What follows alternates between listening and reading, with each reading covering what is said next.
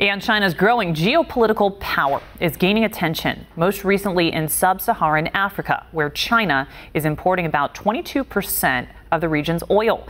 This, as the communist led country is also picking up some traction in the Middle East, with the president scheduled to visit Islamabad later this month to discuss building a peace pipeline. One America's Augusta Cassada brings a story from Washington.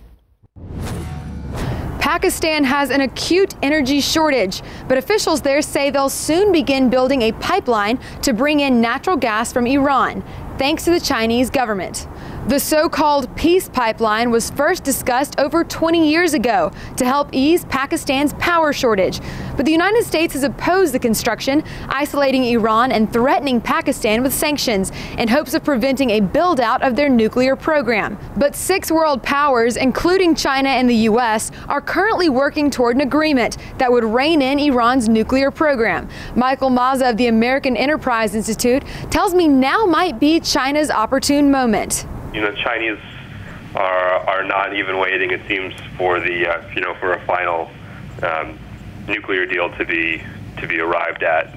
If the pipeline is built and is functioning over the next couple of years, I think it's a two-year project. That'll that'll provide a you know pretty major influx of, of, funds pretty quickly. The pipeline would be an early benefit for both Pakistan and Iran from the nuclear framework reached earlier this month. Mazza claims the benefits for China are actually secondary, arguing China would just like to see a stronger Iran based on their shared interests, including the watering down of U.S. influence. But China and Iran have a um, you know what they would probably consider a fruitful relationship that goes back decades.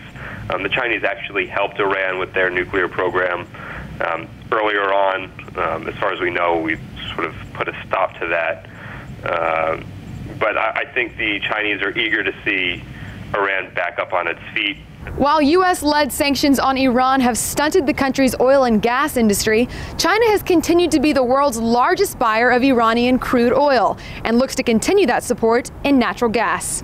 Augusta Cassada, One American News, Washington.